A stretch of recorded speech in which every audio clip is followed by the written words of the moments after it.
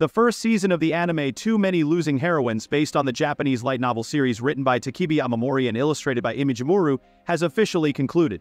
Episode 12 aired last Saturday, marking the finale of Season 1. Produced by A1 Pictures, the anime ran for 12 episodes, starting in July of this year. Now that Season 1 is wrapped up, you're probably wondering, will there be a Season 2? Well, in this video, we're diving into everything we know so far.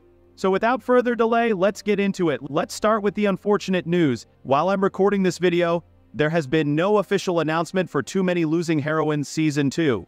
Despite the end of Season 1, there have been no updates or teasers about a follow-up season just yet. But don't lose hope, there's still good news. There's plenty of source material for another season. The first season covered the first three volumes of the light novel, and with seven volumes available, that leaves four volumes untouched more than enough content for another 12-episode run. Considering how successful Season 1 was, a second season seems highly likely. The anime's popularity is also a strong indicator. Too Many Losing Heroines was the highest-rated non-sequel anime of the summer 2024 season on MyAnimeList.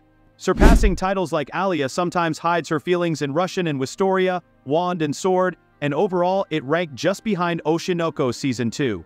With such an impressive reception, a sequel is well within reach. However, whether we get a second season ultimately depends on the production committee. A1 Pictures, the studio behind this anime, has a solid track record for producing sequels and continuing successful series.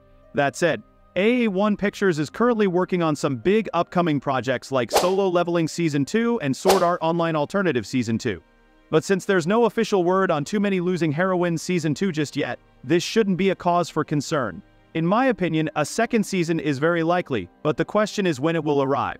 Without any official confirmation, it's hard to predict a release date. However, considering the popularity of the series, it wouldn't be surprising if we hear something soon. And that's all the information we have for now. I'll keep you updated as soon as we get any new announcements on Season 2. I'm Sefan, and I'll see you in the next video.